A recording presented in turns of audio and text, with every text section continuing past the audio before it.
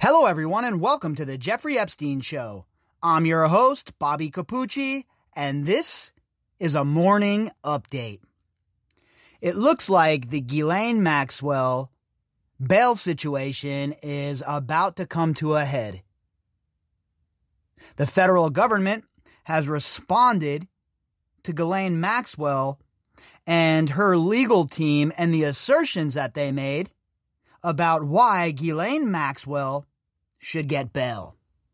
Now, anyone with a working brain in their head should understand that someone like Ghislaine Maxwell doesn't deserve to be bailed out. Anybody with a working brain in their head should understand that Ghislaine Maxwell is not being treated in a, a, bad fashion, that Ghislaine Maxwell is not being treated like she's in a 10th century dungeon. She's being treated like any other high profile inmate would be treated. In fact, she's even been entrusted with speaking to other inmates who might be suicidal. So I don't want to hear any of this nonsense about her uh, living conditions and how it is just beyond the pale of abuse the way she's being treated. No, she's being treated like anyone else would be. What you're really mad about is that she's not being given preferential treatment that's due to a so called member of polite society. That's what you're really mad about, right? Let's just cut to the chase. Let's cut through the fat and let's just get right down to the brass tacks of it. They think Ghislaine Maxwell deserves to be treated better than someone from the inner city who is also in jail awaiting a trial. They think that Ghislaine Maxwell, if she isn't treated better than your average inmate, then she's being treated wrong and she's being treated badly. And this was the point that her legal team was is trying to make to Judge Nathan. Thankfully, the prosecutors aren't having any of it. The prosecutors filed their own letter today, their own court filing with Judge Nathan, in response to the ludicrous assertions made by Ghislaine Maxwell and her legal team. Our article tonight, excuse me, our article this morning is from the abcnews.go.com and the headline Federal prosecutors push to keep Ghislaine Maxwell jailed. Question statements about husband. So, the federal prosecutors, as we all know, are not interested in letting Ghislaine Maxwell walk. If it was up to them, she most certainly wouldn't be going anywhere. But that eh, the, the way the system works, they're allowed to petition the judge for bail, and then the judge has to make a decision one way or the other, depending on the facts presented to him or her. And to be honest with you here, folks, I don't see anything that Ghislaine Maxwell and her legal team has presented that they have not presented before. And the prosecution is saying the same exact thing. We've seen all of this before. These are repeats. We want some new programming. And I'm sure Judge Nathan feels the same way. I mean, I would guess anyway. Why are you going to waste my time and continue to send me briefs of the same exact stuff, basically, that I've already told you is not going to get you sprung? But Ghislaine Maxwell's legal team, for the money that they're being paid, they're, like I've said from the beginning, they're going to throw as much shit against the wall as possible, hoping some of it sticks. It's not about guilt or innocence with Ghislaine Maxwell. It's about technicalities. And it, it's it's quite obvious that that's what her legal team is gunning for here. It's no different than Jeffrey Epstein's legal team when he was in uh, jeopardy and when he was facing criminal penalties. It is all about the loopholes. It is all about the technicalities. Guilt or innocent does not matter when you're a so called elite, when you have the sort of bankroll these people has. It doesn't matter. Because they're going to pay for not only a lawyer who can handle themselves in the courtroom, but they're going to pay for a lawyer who used to be a prosecutor, who has ties to the prosecutor's office still, and that's exactly what Ghislaine Maxwell did when she hired Everdell. Now, it seems to me that this time around, that's not going to matter. I don't think Alison Moe and company are interested in having any sort of pleasant uh, heart to hearts with Ghislaine Maxwell's legal team at this point. This seems to be a pretty contentious situation. And Alison Moe and the team in charge of prosecuting Ghislaine Maxwell have done a pretty good job, right? You know, I'm very critical of all of this, of the way the government has um, prosecuted this case and the cases previously. But the current team, which is anchored by Alison Moe, has done a really good job. And I would really like to see them knock it from a C plus B into an A range of a grade by announcing RICO charges. That would be fantastic. But the job they're doing here, as far as countering Ghislaine Maxwell and her legal team, point by point, every single time Maxwell's team attempts to snatch the narrative, has been a very, very solid job by Alison Moe and company, and hopefully they keep it up. Let's see what their letter had, what they had to say in their letter to Judge Nathan in this article. The authors of this article are James Hill and Aaron Katersky. Now, James Hill, like I've said, has done just a fantastic job with um, covering this Epstein case. So I'm keeping to uh, the the pattern of following his articles and using this next article that we're going to read from James Hill in collaboration with the first one by James Hill. So that way we have the whole entire story, all of the context, and all of the meat that is possible on the bone. Federal prosecutors in New York are urging a judge to reject Ghislaine Maxwell's second attempt to be released on bail in advance of her trial, arguing that she remains an extreme flight risk because of her foreign ties, her alleged lack of candor, and her demonstrated willingness and sophisticated ability to live in hiding, according to court documents made public on Friday. So, right off of the bat, in the first paragraph of this article, you see that the federal prosecutors are already coming out with both guns blazing. A lack of candor? Check. Foreign ties? Checked. Demonstrate a willingness to live sophisticated and to live in hiding? Eh, that's a check as well. She was engaging in all of that. None of that's disputed. What they'll say is, oh, well, she was trying to hide her communications and her movement from the media. From the media. Like the media was camped out in front of her house.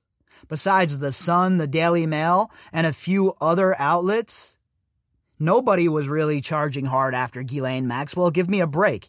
People were writing articles, but they were piggyback articles, piggybacking off of the work that other people have already done. It wasn't investigative journalists hitting the streets looking for Ghislaine Maxwell. They couldn't have been bothered to do that. They were way too busy engaging in tribal warfare, folks.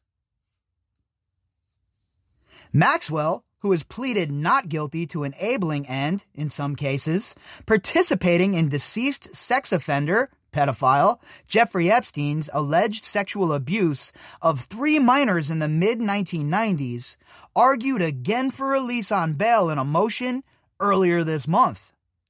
And again, Remember, just because they filed this letter with the court doesn't even mean that Judge Nathan is going to grant a hearing she might just look at all of this, the written um, requests, and say, "No, I'm not. I'm not even going to give this a second thought. We're not even going to bother with this." But we don't know if that's the action she's going to take, right? So as of now, as it stands, they have asked Ghislaine Maxwell's lawyers, that is, have asked for a trial, uh, uh a hearing date of December 21st prosecutors have said if that's what Judge Nathan is okay with, then we're okay with it as well. But I'm guessing that the prosecutors hope that the wording of their letter is strong enough to sway Judge Nathan from wasting everybody's time again with this bail situation. I mean, how many times is Ghislaine Maxwell going to get a hearing for bail? Is everybody petitioning the judge this often? Get get this many shots for bail? For some reason, I highly doubt it.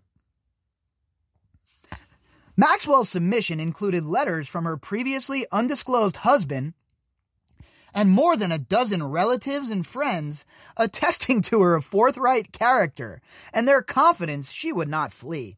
Yeah, I mean, this is somebody who is obviously has just an uh, an abundance of character, a moral compass that does not ever beat the wrong way, and somebody who would never engage in anything like this, according to her relatives and friends.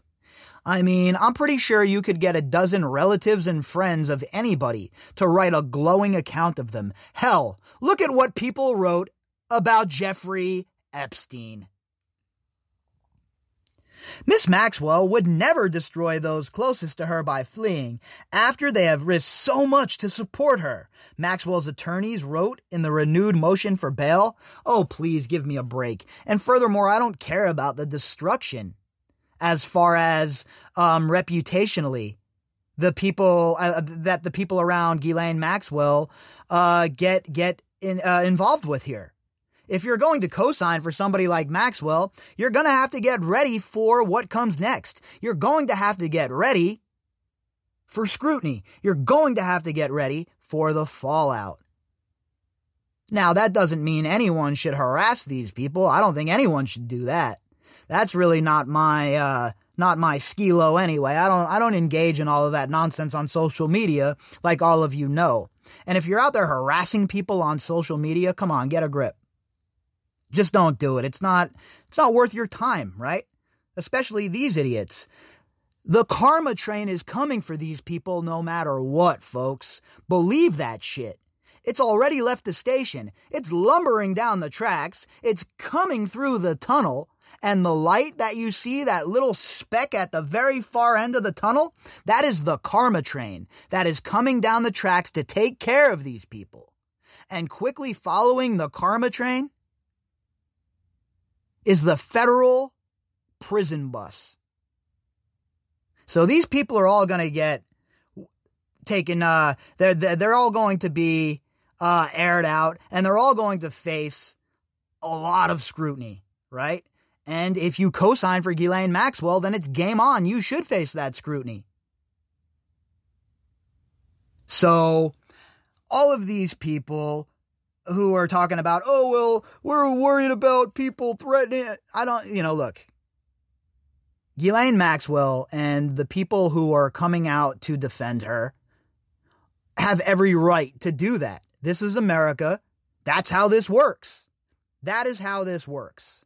But at the same time, don't try and get people to quit talking about the situation by throwing out ludicrous statements such as, oh, Ghislaine's security is in jeopardy, like they were saying leading up to her arrest. I call that bullshit from the very beginning. In jeopardy from who? Nobody in the media even cared. From some weird, crazy people on the internet? Give me a break. Everybody deals with psychopaths on the internet. Anybody, anybody who does anything, even partly in the public view, is going to come across a psychopath, a psychopath or two. I've had my share, believe it. You ignore them and move on, right? But their strategy is what they want to do is try and make it out so nobody talks about the case even. They want it to be shrouded in mystery like it always has been because that's the best the best terrain for them to operate. When the public doesn't have any of the the um, information, when the public is only being gaslit, that is the perfect time for the so-called elite to control the narrative. Now that that narrative has been snatched from, from them, now that the shoe is on the un- other foot and the predator has become the prey, they don't know what to do, folks. But prosecutors cast Maxwell's pitch for a $28 million bail package as a rehash of arguments previously rejected by the court at a detention hearing in July, two weeks after Maxwell's arrest. And that is the position I have taken with this as well. This is just a, a, a, retread, right? We're doing a rehashing of everything that they presented already. Nobody has the time for it. Nobody wants to deal with it. But yet, Ghislaine Maxwell's high profile lawyers have to make themselves seem useful, right? So they're going to go hard and they're going to try and use every little bit of leverage they have. COVID, we'll use it. Ghislaine Maxwell's supposedly draconian conditions in jail, we're using that too. Oh, a couple of unhinged maniacs on the internet talk trash. Oh, yeah, let's use that too. We're going to pile that on in there as well and say there's a security threat. Whatever they can possibly use, they will use. You know what they will not say? And you know what they're not going to try and say? That she's innocent because they know at this point they can't even they can't even prove that, right? They know that the evidence is stacked a mile high against them, and all they have to go on are technicalities and loopholes and backroom deals and wrangling. Unfortunately for them, that's not going to work this time. And Ghislaine Maxwell, the only way she's going to reduce her prison sentence from 175,000 years is to start rolling over on other people involved. And then she might get a few years knocked off, but I don't see how, if RICO is implemented, that all of these people don't see themselves in prison for 120 years at least, like Keith Raniere. The offense conduct outlined in the indictment re- remains incredibly serious. The evidence against the defendant remains strong and the defendant continues to have extensive financial resources and foreign ties, as well as the demonstrated ability to live in hiding for the long term, wrote prosecutors. And who's to say that Ghislaine Maxwell couldn't disappear even in America? What's to say that she even has to leave? This is a very large country. And we know that she is adept at hiding. We know that she's adept at skulking around in the dark and avoiding the authorities. So why would anyone let her out of their sight at this point? Furthermore, if we're also worried about her state of uh, health and about her well being, what better place than locked away in solitary confinement, with people checking on her every 15 minutes or so? Seems pretty secure to me. Although the defendant now claims her marriage would keep her in the United States, her motion does not address the plainly inconsistent statements she made to pretrial services at the time of her arrest when, as documented in the pretrial services report, the defendant said she was in the process of divorcing her husband acting U.S. Attorney Audrey Strauss, Strauss wrote, and that was all. That's all about protecting her money, right? She moved the money into Borgerson's name, and then she'd say, "Well, we're getting, we're divorced. I don't. That's not my money." And they'd still be married on the hush, but she'd try and afford herself some protections to that dough. And it just shows you how smarmy she is, how scummy she is, and how not anchored in America she is. Uh, she doesn't want to ruin her family. Give me a break. This bipedal serpent doesn't have the kind of heart that we do, even. I don't even think she functions as a human. She's such a sociopath that love is such a foreign idea to somebody like Ghislaine Maxwell, in my opinion, that you can't even quantify it. On this point, it bears noting that the defendant's motion asks that she be permitted to live with, name redacted if granted bail, not her spouse, Strauss added. Well, that's weird. Her loving husband and her stepchildren that miss her oh so much. But yet she's not going to go and live with Scott Borgerson. She's going to live with whoever this redacted name is. Why in the hell is that? Why in the hell would that occur? Why would she not go and live with this loving husband who put up twenty-two and a half million to get her out? He misses her so much that she's going to live with somebody else? None of this shit makes sense. It all fails the sniff test miserably. Maxwell's spouse, Scott Borgerson, whose name has been redacted from the public version of the court filings, told the court in a letter earlier this month that the person described in the federal government's criminal charges is not the person we know. He said he did not come forward as a cosigner to Maxwell's initial bail application because they were trying to protect their family from ferocious media aggression. My friend, if you're going to marry John Wayne Gacy, then it's not the media's fault if there's a frenzy when he's found out and you're put on blast as his husband or wife. That's how these things work. I have never witnessed anything close to inappropriate with Ghislaine. Quite to the contrary. The Ghislaine I know is a wonderful and loving person, he wrote in a letter accompanying the motion for bail. Aw, isn't that cute? Ghislaine is just such a good person. According to her redacted husband, Scott Borgerson, she is such a great person. I am sure that all of the girls that were abused at her and Jeffrey Epstein's hands, I'm sure they all feel the same exact way. I'm sure that they are gushing and they're over the moon right now that Ghislaine is trying to get bailed out. I mean, what sort of different universe do these people live in where anyone thinks that this, these stupid letters are going to work? They didn't work for Jeffrey Epstein, and they should not work for his co conspirating bipedal serpent, Ghislaine Maxwell, either. A person familiar with Maxwell's thinking said that divorce was an option she had considered immediately after her arrest in order to protect the privacy of her husband and family, but that it was not pursued. Oh, yeah. I'm sure that it was all about privacy and had nothing to do with securing your money. Remember, money and information was the manna that Ghislaine Maxwell lived on for decades.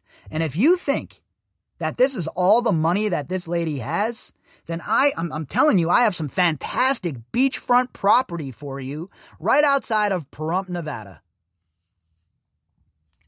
Prosecutors noted in their response to the new bail application that all three of the alleged survivors listed in the indictment continue to oppose her release.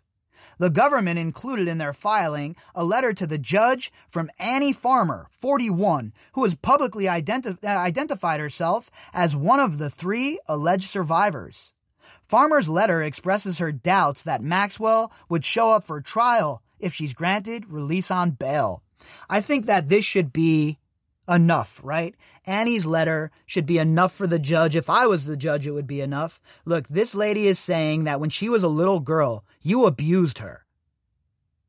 Now you're asking me to grant you bail while this little girl who grew up into this fantastic, brave woman is asking me to keep you eh, contained in, in your cell?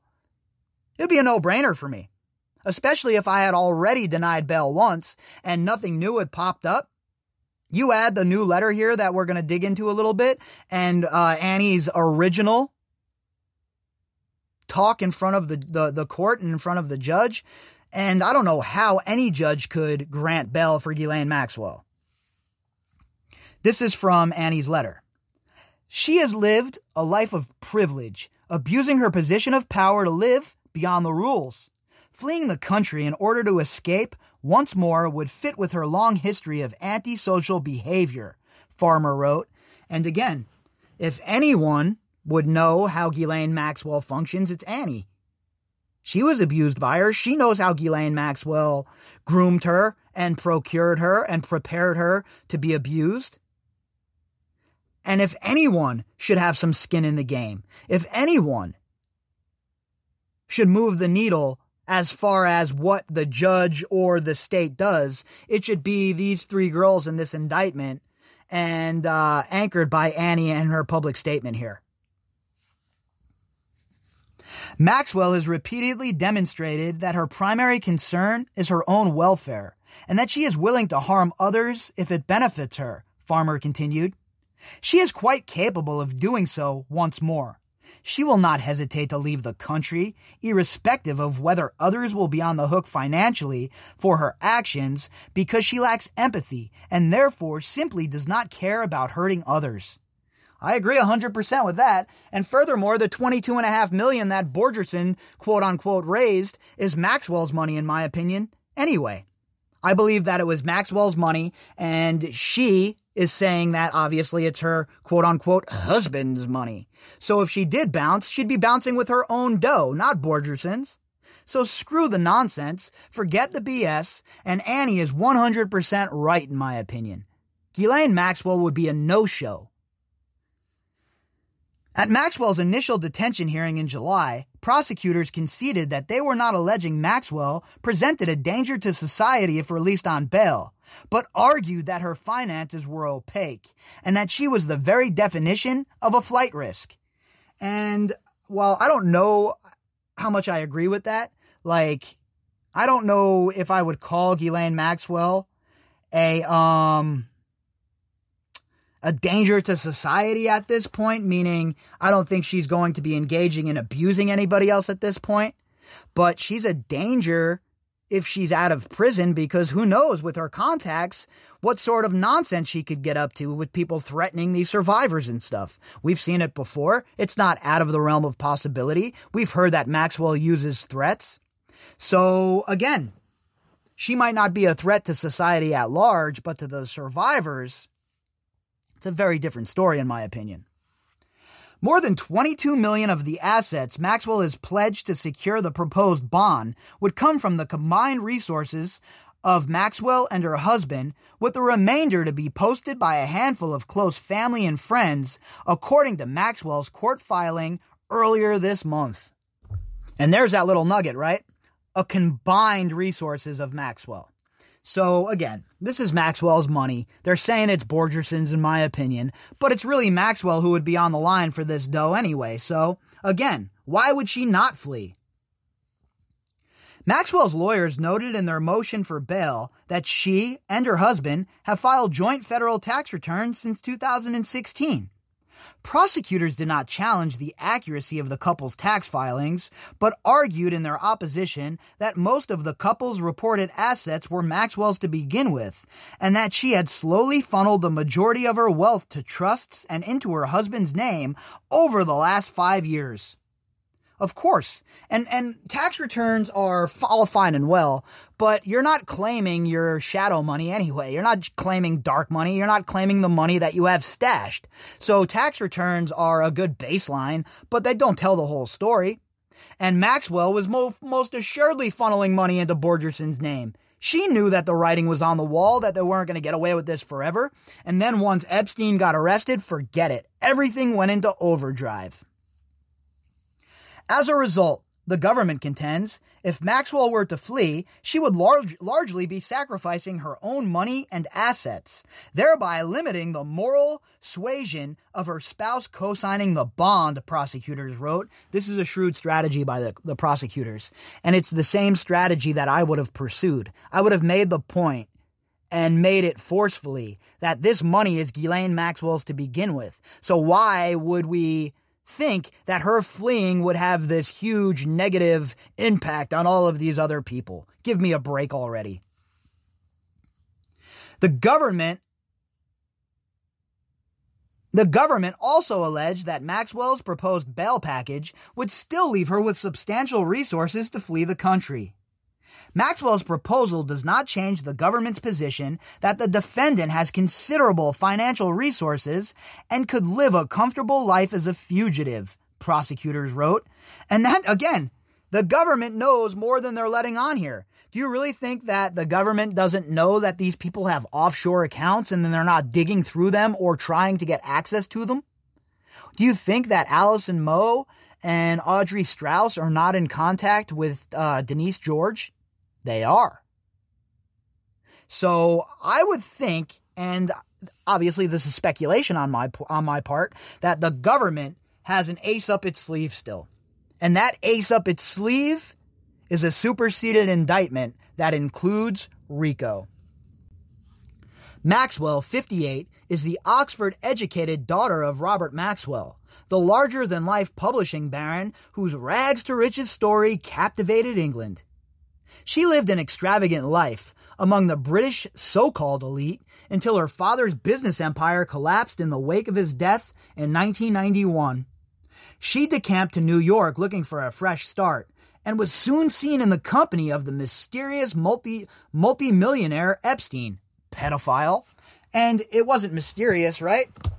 I, you know, my opinion is that this was all set into mo- motion by Robert Maxwell. He was the one who set up uh, Epstein with his daughter, and it was to run this honey trap operation. Maxwell was an asset, Epstein was an asset, and Papa Maxwell most assuredly was an asset for multiple intelligence organizations. So it wasn't the story they wanted, they told at first, right? Oh, it was the money. Maxwell was destitute. I don't buy any of that. This was all set into motion, and this was a plot that was kicked into play with a lot of premeditation. Following Epstein's death in August 2019, prosecutors vowed to hold accountable anyone who allegedly conspired with him or participated in his alleged child sex trafficking crimes. Their attention quickly turned to Maxwell, who had been previously accused in civil lawsuits of facilitating Epstein's abuse of young women and girls, allegations that she has long denied. She was arrested on July 2nd in a surprise early morning raid at a secluded 156 acre property in New Hampshire that had been purchased by a shell company in all cash transaction, according to court records and public documents. Those shell companies we talk about in the FinCEN files sure are looming large in this case, aren't they? That has always been a thread that was big time, a thread that was hugely important. And I'm so grateful for the FinCEN files to give us the ability to go down that rabbit hole and tie it in with our story because it's such a huge deal. Maxwell's lawyers have argued that she went into seclusion after Epstein's death in order to avoid media scrutiny on her and her family rather than to avoid arrest. But prosecutors argued in their opposition that whatever the reason, her time in isolation makes clear that, even to the extent she has loved ones and property in this country, she has proven her willingness to cut herself off entirely from them and her ability to live in hiding.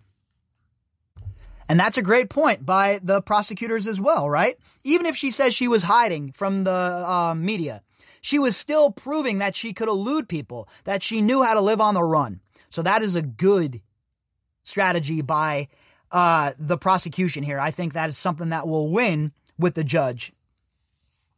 If granted bail under her proposed conditions, Maxwell would be restricted to a New York residence with round the clock security and GPS monitoring. She would also irrevocably waive her rights to contest extradition from France or England, the two countries other than the U.S. where Maxwell holds citizenship. Sorry, that is not good enough for me. What if she goes and hides underground in France with friends, people hiding her and protecting her there, or England, or elsewhere? Nope, it's too much of a risk, in my opinion. Prosecutors countered that GPS monitoring would offer little value for a defendant who poses such a significant flight risk because it does nothing to prevent the defendant the defendant's flight once it has been removed. At best, home confinement and electronic monitoring would reduce a defendant's head start after cutting the bracelet. And they contended that her proposed waivers to contest extradition would likely be unenforceable and effectively meaningless if she were to flee for for sure. She doesn't control what the French courts do. She has no control over that. If the French didn't want to set a precedent of sending her to America, then they damn well would not do it. Point blank, period, no matter what rights Maxwell supposedly waives. Maxwell's lawyers will have one more opportunity to counter the prosecution's argument for her continued detention. They've asked U.S. District Judge Alison Nathan to schedule a hearing next week on her renewed bail package. Nathan is not yet committed to a hearing and may issue her decision solely on the written arguments. So there you have it, folks. The prosecution has clapped back. They have responded to the assertions of Ghislaine Maxwell and her legal team, and they have done so forcefully. My opinion is Ghislaine Maxwell should not get bail. She should stay in there eating bologna sandwiches and enjoying the accommodations provided to her by the federal government until her trial date. If you'd like to contact me, you can do that at Bobby Capucci at protonmail.com. That's B O B B Y C A P U C C I at protonmail.com. You can also find me on Twitter at B O B B Y underscore C A P U C C I. All of the links that go with this episode can be found in the description box. And to everybody who has donated to the podcast and helped keep the lights on around this joint and the content rolling, you folks are the real superstars of the operation. All right, everybody. Enjoy your Saturday. I plan on watching 14 UFC fights, a bunch of championship football games, and the Canelo fight afterwards. So tomorrow's daily drop will be a little bit earlier than usual. Um, I'm going to put it out before I settle my ass onto the couch to watch all of the fantastic sporting events. So expect the daily drop no later than 3 p.m. or so tomorrow. All right, folks. Enjoy your time, and I will talk to you all later.